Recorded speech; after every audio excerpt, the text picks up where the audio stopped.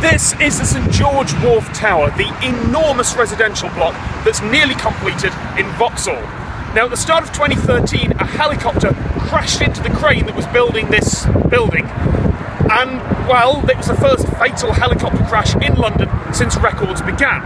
But the reason those are so rare is because there's a massive safety precaution in London. Helicopters must follow the river. And there are two reasons for that. One is that the London City Airport flight path ends at London City Airport about eight miles that way. In fact, I can see a plane coming in now.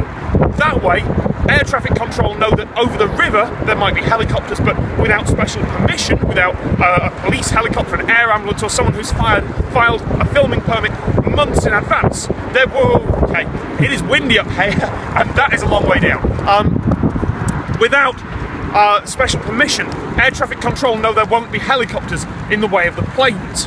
But the second reason is more important, and that is if a helicopter suffers an engine failure, um, most pilots, most qualified pilots, will be able to put the helicopter down safely because helicopters can do something called auto rotation. They can be powered by the air going through the blades as they fall and make a safe landing. But where's a safe landing spot in a city this big? You're probably going to hit a building or a person no matter where you come down unless you are flying over the river and following its path. In which case, if your engine suddenly fails, you're going to be fine. A bit wet, but fine.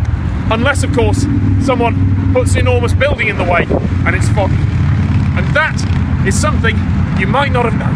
And I'm getting down from here now. Seriously, that's a really long way down.